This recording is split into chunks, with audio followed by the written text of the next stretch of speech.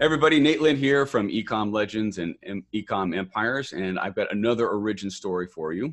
Uh, Tyler and Peter Day, I've been uh, affiliates for many, many years and have a really fascinating story. So we're going to jump into their backstory, find out a little bit more about what uh, what got them and what motivated them to become e-commerce or uh, online entrepreneurs, and then see what kind of frustrations and challenges they dealt with in the early days, um, knowing that most of the folks in uh, ecom empires and uh, that are getting started in their own entrepreneurial journeys are just that they're getting started. So uh, this whole series of videos is going to highlight some people who have a dramatic amount of expertise and then what they dealt with in the beginning. So welcome guys. Yeah nate thank you. Thanks, thanks. for having us on yeah, absolutely. So I'm really curious, and I'm sure we've talked about this before at Ecom Legends events. And, and I remember the first dinner that we had together uh, a couple, you know, a year and a half or so ago. Uh, you were telling me a little bit about your backstory, but you know, for the for the crowd, like, what's what's your backstory? Like, where, like, how did you guys get into doing what you're doing now, and what specifically, what were you doing, bef- you know, before this? And then let's talk about the transition, the segue in. Yeah, so really the whole journey um, actually starts with Peter. So I'll, let Peter kind of begin begin the journey here. Yeah, so when I was um, 19 years old, I was um, just bouncing around different um, kind of career paths. I had gone to a music school. I had gone to a community college. I ended up going to UConn. I was kind of all over the place for just what I was going to do with my life. And just during this period of time, I was living at home with my parents. I was basically just like in the parents' basement kind of thing. And I stumbled across some YouTube videos and I was on YouTube and there was these guys who were just making like millions of dollars on YouTube. People like Neil Patel and Pat Flynn and just these different people in the industry. And um, it was just really fascinating to me, especially because a lot of these YouTube internet marketing people were super young. I was young, I was 19, and um, just watching these YouTubes, and there's young guys like 25 years old. They're just making millions online. And I was like, you know what? Um, this just seems like a really interesting thing to explore. Um, so I bought my first info product.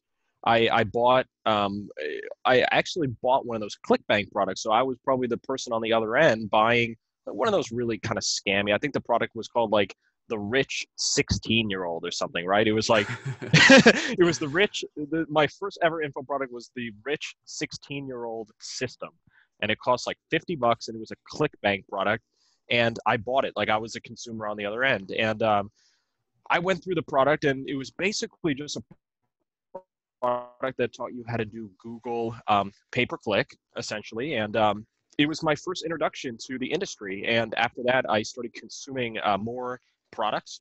I think that we we just we needed to learn the stuff, so we just started buying more and more info products and courses, and just um, every year we just bought training so you were, and you were consuming a bunch of information right? Yeah just eh, yeah and i was spending all night on youtube just trying to get free information on youtube. And i was attending webinars. Whenever someone had a webinar i would learn and uh, we what, what, were you hoping to accomplish? Like what was the what was that entrepreneurial spirit like going to solve for you? Um in like a psychological way or yeah, just, just, like, in, like in in in life in general. Like what like why why were you doing this instead of like just following the path of college job etc you know what? I think it's just the way that maybe tyler and i have been wired or something because i just like couldn't picture myself working for um, someone else. I I just couldn't I just couldn't fathom the idea of just like graduating from high school or college and actually be stuck um, behind a desk working for someone else having for some reason it just what I was so against that and mm. that's why I was trying different things. Like, that's actually why I was into music. So I was a big guitar player, mm-hmm. and I thought guitar was going to be kind of my way to like do something for myself, not to have a boss. Like for some reason, I was always just really against the whole like nine to five rat race thing, and I was just pursuing guitar. And I was like, you know what, this internet thing at least seems like more economically viable than the guitar. Um, yeah, go figure. That's cool. Um, so what, what was your your first goal like what did you what, what were you trying to get to in terms of like um you know your income? Like what uh, what was when you go back? You know, I know you guys have been uber successful since then, but like what was that first measuring stick? What did you want to try to get to in the beginning? Yeah, so I think like I linked up with Peter kind of like shortly, like maybe like a year into him kind of like learning about what affiliate marketing was. So after Peter like bought that course, he just started to kind of play around with like the concepts in the course. And about a year later, I think Peter was making like four to six K a month in profit. So he was actually like fully supporting himself at that time. And um, I'm like a couple years younger than Peter. So at that time, I was like about 17 years old, um, just like finishing up high school and I saw Peter now like making this full time income doing affiliate marketing, um, and I, w- I was just kind of blown away. So I think at my at the time, like Peter really just wanted to make enough money to support himself and just have a little bit more money on top of that. So maybe at the time, like our goal was between you know making like five k a month um, mm-hmm. each. Mm-hmm. So I mean, my goal was I wanted to go into college, but um, I, I didn't want to be like financially dependent on my parents and stuff. So my first goal was just but to become financially independent. Um, and, you know, it didn't happen immediately for me. Like when we started doing affiliate marketing, I mean, you know, there'd be months where we wouldn't make any money. There'd be months when we lo- would lose money. So, you know, it would take us, um, you know, we didn't realize at the time, but it would actually take us years to be able to um, stably support ourselves financially and stuff like that. But really, I mean, that was just our initial goal. So yeah, we probably, we probably struggled. We probably did struggle for like a solid three years. Mm-hmm. Like sometimes making money, other times like not making a dime, and then there was multiple times where we just lost every dollar we ever earned because we just weren't profitable for like six months in a row and it mm-hmm. it took us at least six years or sorry it took at least like three years of struggle to finally figure out enough stuff where we then had like a ever profiting business like ever since. So yeah, and so take me back to you know. So Tyler, you're 17. Peter, how old were you? I was 19, and Tyler was around 17. Okay. Um, and so goal number one for Tyler at least was being independent. Were you were you still living with your folks at the time? Yeah, so I was 17. Um, I was like just graduating college. Um, high school at 17. Yeah, that's that's what I meant. High school um, you know, I was going into college and yeah, I mean, my parents were still supporting me. Um, like I had some help just like, you know, going into college, just, you know, being able to, to have my mom send me like $300 a month for food and just like basic stuff like that. But honestly, like I just like, I hated having to, having my parents send me money. I just like, every time I would like completely run out of money and I would have to ask my mom to send me just like money for groceries and stuff. Like I would just I would just feel um, bad about it. Like I just felt like um, I just wasn't doing enough on my end to be able to support my basic needs. So um, you know, like you were a burden.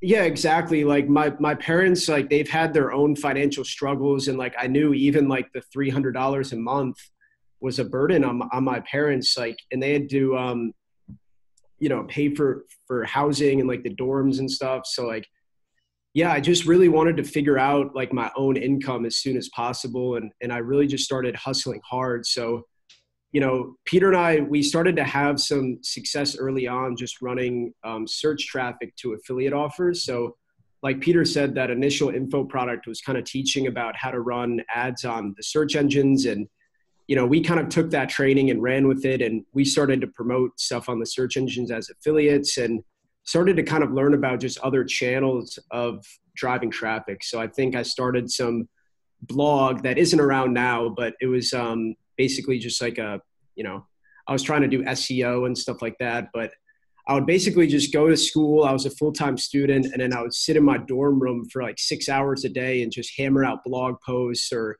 you know, work on my paid ads and, and just do whatever I possibly could to like get results, you know?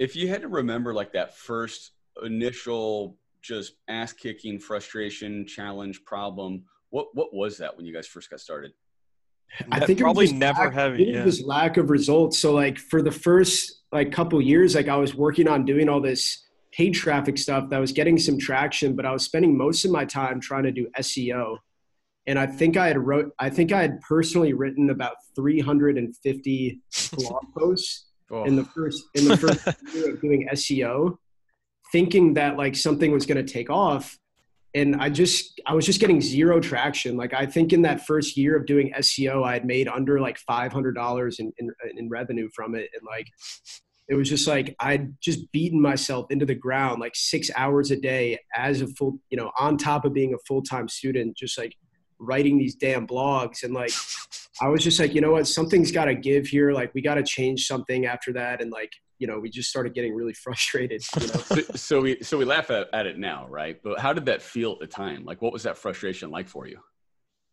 Um, I think it was just that. Like, it was just frustration. Like, you know, the money the money wasn't there. Like every month, I would have like a tiny amount of money that I could spend to just like feed myself.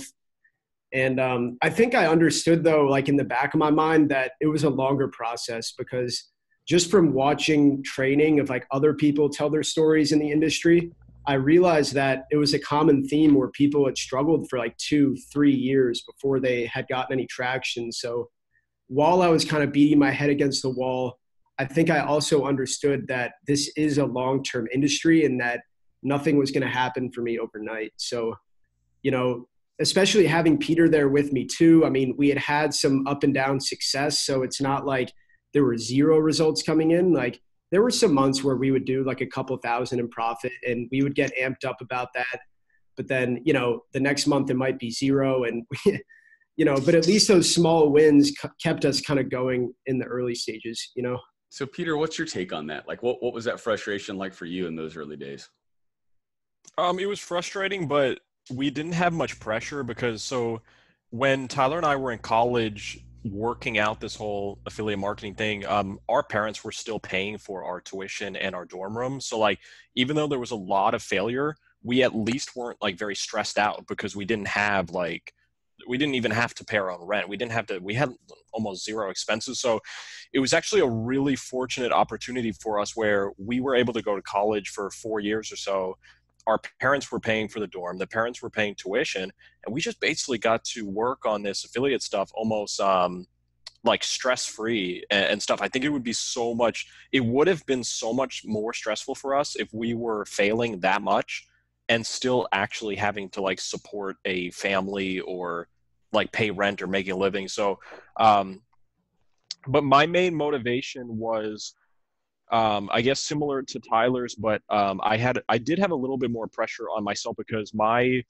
um, my parents were really like the uh, almost like the poor dad. So in high school, I read Robert Kiyosaki's Rich Dad Poor Dad. Yep. And I just realized that my parents pretty much were like the poor dad. I mean, they told me to go to university and get a mm-hmm. job and um, and thankfully I, I really immersed myself into some of that personal development i was listening to um, Robert Kiyosaki, Jim Rohn, Brian Tracy, um, Tony Robbins stuff. I was just really like um, immersing my, uh, immersing myself in this personal development, and I realized, you know what? Um, I just I said, wow, like that rich dad poor dad. It's like my parents have been practically the definition of the poor dad. Um, so my parents basically told me like, you're going to graduate from college, you're going to find a good job, and you're gonna you're gonna work the job. And they said by the way like we don't want like any laziness in this household. And when you graduate from college they said when you graduate from college you're also not going to be one of those kids that just like lives with their parents. So i was like crap like i'm going to graduate this college in three years and my parents won't let me back. They want me to just get a job. The job is the last thing that i want so I'm like, what am I going to do? So that was my primary motivation. That's why I hustled so hard in learning internet marketing was to just be able to graduate in like three years from college and not have to get a job. And there was not an option to, to live with the parents. So I'm like, it's either I'm going to make this work or I'm going to just be like forced to just like get some kind of job somewhere. Okay. Um, Got it. So yeah. so what like what was the tipping point for you guys? What was that epiphany or the you know the the thing that worked? Like what what yeah. put put it over the edge? So it was around like 2015. So remember we started 2012 really and it'd been like 3 years of like beating our head against the wall. And in 2015 we just sort of started to get tuned into like the right um, training basically. So we started to meet some other affiliates who were having success and who were really um, generous with their knowledge. So, you know, we started to meet other affiliates that were having success doing lead generation. And up to that point, we had made all of our focus just promoting info products.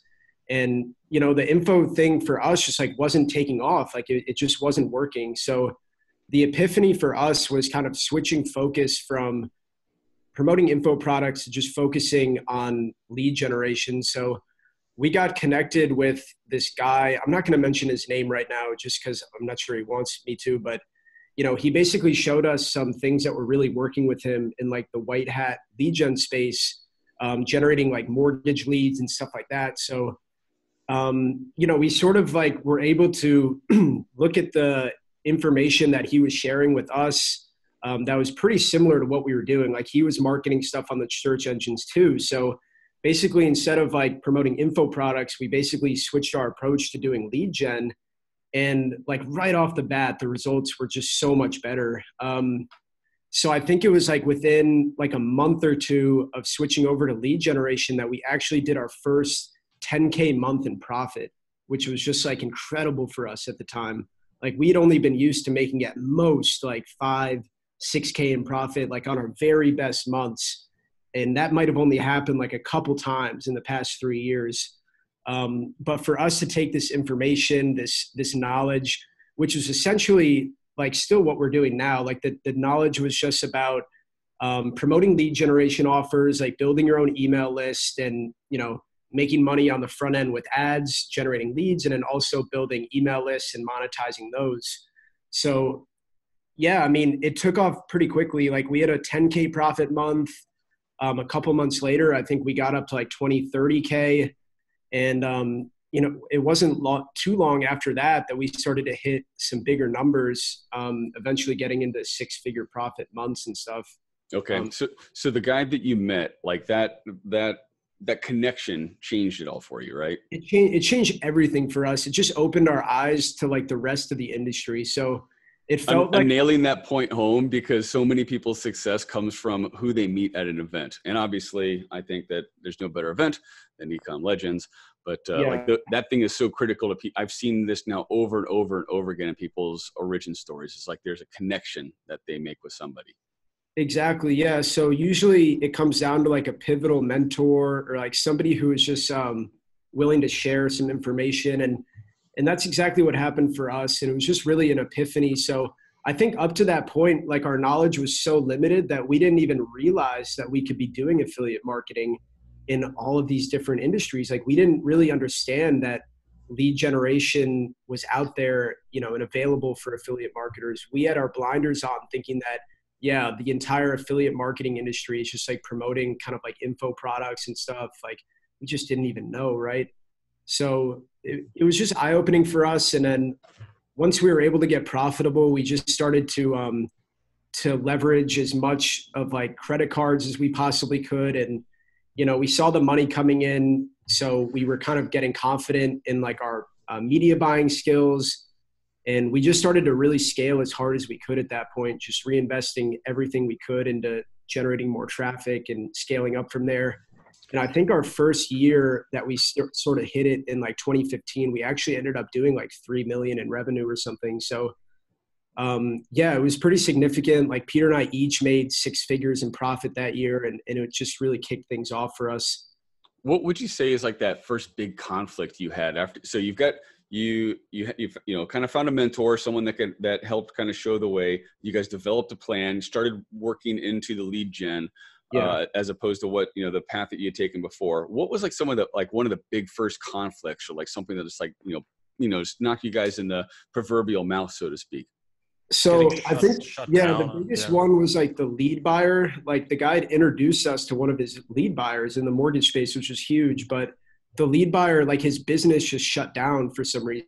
Like it wasn't didn't have anything to do with us, but like he just wasn't buying any more leads. So at that point, like we had to figure out something else because, you know, we had learned how to do like this one specific campaign, selling leads like this one specific person in this one specific vertical, but we had no idea how to do anything else yet. Mm-hmm. So when that shut down, like the entire business just went on pause. Because that was the person basically paying you. You were you were doing leads and driving them to that that individual's that call center. advertiser, yeah. Yep. And then when when they were, you know, then all of a sudden you're like, well, I can still generate leads, but I can't get any money for them because my we needed person- to find like a new vertical. It was almost like just starting over again, essentially. Like, yeah, um, but we started over with like a much higher level of knowledge, and um, you know, I think I think we only it was only really like a sixty day period or so where we had no money coming in before we figured out just like a different offer to plug in or something like that. Why didn't you throw in the towel? Why didn't you quit? Oh, we had tasted the success. I mean, at this point, I think we had had like a two hundred thousand dollar month of like profit. I mean, we had some like very significant wins. So, um, yeah, we were was, so we were so amped up at that point that there was just no like going back. back. Like we just knew that this was going to work one way. and it's another. just what what is the alternative? Like, do something else, or like get a job that's only going to pay like seven grand a month when we just had like a two hundred thousand dollar month. It's like we we had tasted the, um, the what do you want to call it upside of this industry. Yeah, the Um, sacred fruit. Yeah, got it. So so you, so you guys had to you had to kind of re, reboot. Like what what what was that like?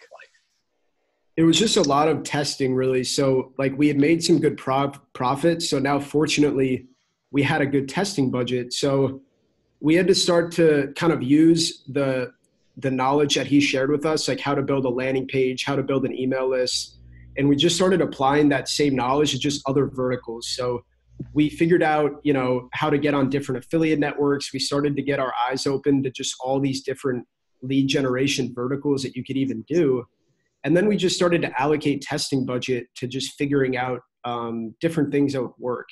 And it was around this time too that we also started to advertise on facebook. So like up to that point we had only been doing the search engines for our traffic but it was around this time too that we figured out facebook which is really huge for us. So you know we started just testing some different campaigns on facebook and back in 2015 it just wasn't very hard to get things profitable on facebook um, it was just the the ad platform there was like really not a lot of restrictions. Like i don't even know if they were really like reviewing ads. Like you would just put something up it would like immediately go live in like 20 or 30 minutes. And like more often than not things just kind of worked just Mhm. because we were getting clicks on facebook for like 5 10 15 cents and driving them to offers that were getting like $1 plus epcs and stuff which it just didn't make it very hard to work. So that was sort of like our next big boom in business was figuring out the whole um, Facebook side of things. Was there any aftermath that you faced with uh with that? Anything Um, that- how anything that- so? anything that came like so you've got this uh this initial no i wouldn't want to say initial success so you've, you've got this period of grinding you know for a Yeah. couple of years then then you get some success you reboot and then some new success was there any any aftermath to like this building momentum? Have you guys just you know looking back and just kind of commenting on it anecdotally now anything that that you know any any lessons or or thoughts that you learned through that process that maybe now you don't uh you, you don't you don't do or you would do different? Well, I think it's been such it's really hard to like look back on it and have regrets because we do need to understand that I mean if you're brand new in the industry there's a learning curve like you need to learn you need to you need to learn like how to run traffic you need to learn how to just there's just a lot to learn and like for us to like, be beating ourselves up because we didn't kind of like have all of that expertise like in the first or second year i mean I think we were just kind of doing the best that we could. Um, I think if it were to happen again, we would be able to recover much quicker now because Mhm. we have more skills. Um, uh, so, I mean, I, I guess one one thing that we could say is a learning lesson is that we needed more of a team because in order to have diversity, you probably are going to need a team. Because if you're an affiliate marketer or even an ecom um, affiliate or whatever, yeah. um, if you really want to be running like 10 verticals at the same time and you want to have a diverse business, it's really, really difficult to actually do that simply just yourself. Like right now, Tyler and I are probably running like 20, 30 different offers, different offers on Facebook. And it's like, it, it would be I, I in my opinion, I think I think it would be virtually impossible without a team. Like Yeah. how are Tyler and I supposed to run 30 different verticals or something on Facebook with just like zero team? I I think an individual can only do so much. So an individual can probably run like three to five ad campaigns or something like very effectively. But um, if we were to do it all over again, I would have started forming a team like pretty early on, even if the team was commission only. I would have I would have at least got some buddies and be like, hey, like, why don't you join my team? I'll just give you like half the profits. I would have tried to get something going, even if it wasn't even a salary, even if I was just like enlisting some members on commission only, because it just we wouldn't have had the ups and downs. Like we were putting all of our eggs in one basket, I guess, was the big learning lesson. Because remember, Tyler said we were just selling leads to um, the mortgage buyer. And it's if we had been doing mortgage and car insurance and education and all of these credit card verticals and different things, um, it, maybe some stuff would have still got shut down, but it would have at least prevented us from going to zero income for like a season of, of time. Now, now you, you guys mentioned some uh, some work on personal development. What, looking back, how have you guys transformed as individuals? Um, I would say a lot, man. I mean, I think like what's changed obviously is just like our level of knowledge. Um, yeah, I mean, I, I just like a lot's changed for us. So like we've grown in every area. Like we've grown in skill in our own business. Um, our entire network has grown, and and you've been a very big help um, for helping us grow our network through your events and and just who you've introduced us to. Um, but yeah, I think I, I think it was like a, a change for me when like I realized a handful of years ago that like me as a person, I was just like really behind as far as like my level of skill and my level of knowledge and just like how much I could actually handle. Like when I first got started, I would be running like one ad campaign and I would be like fully burnt out, you know? Mhm. And like that was all I was managing was like one campaign and like I was like that was it. That was my my limit, you know?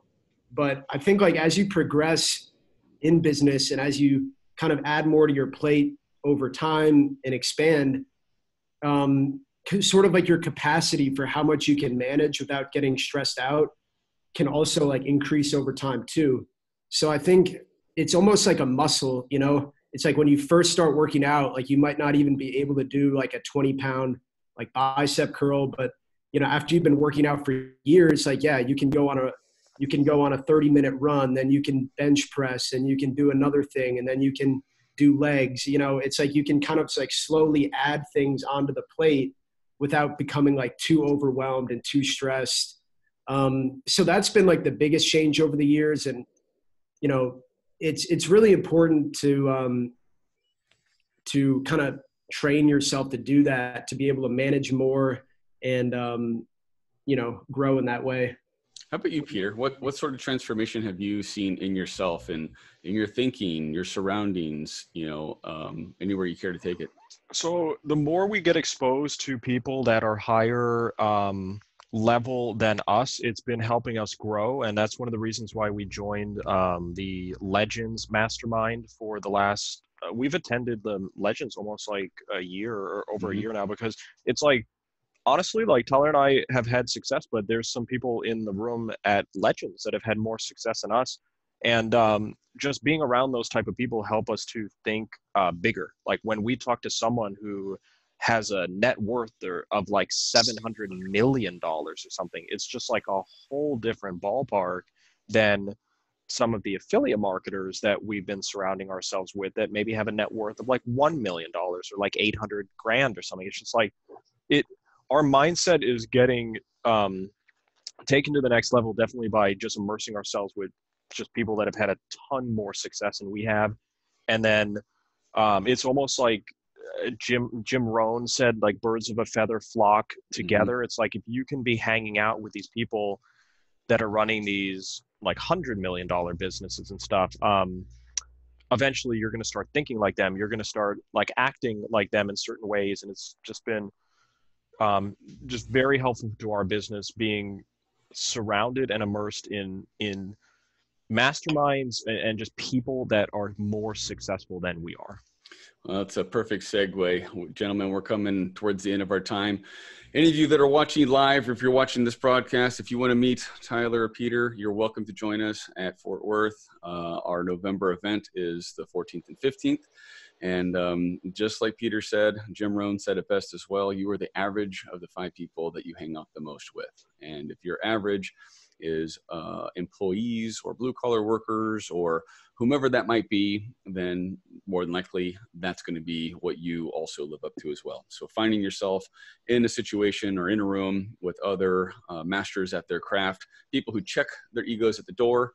Uh, I like to say that um, you know we've got a really good group of people that come to the event, and just as Peter was saying, you know, folks with more than 100 million dollars worth of gross revenue, but sometimes you wouldn't even know it until you're having dinner with them. And um, when they make that you know maybe make a little mention of it or talk about the size of the team that maybe they've they've downsized uh, that sort of stuff. So uh, thank you very much tyler and peter. This is going to wrap up our origin story for you guys and i'm looking forward to seeing you guys not too long from now thank yeah. you thanks awesome. everybody um, hey just one thing um, if you want to hang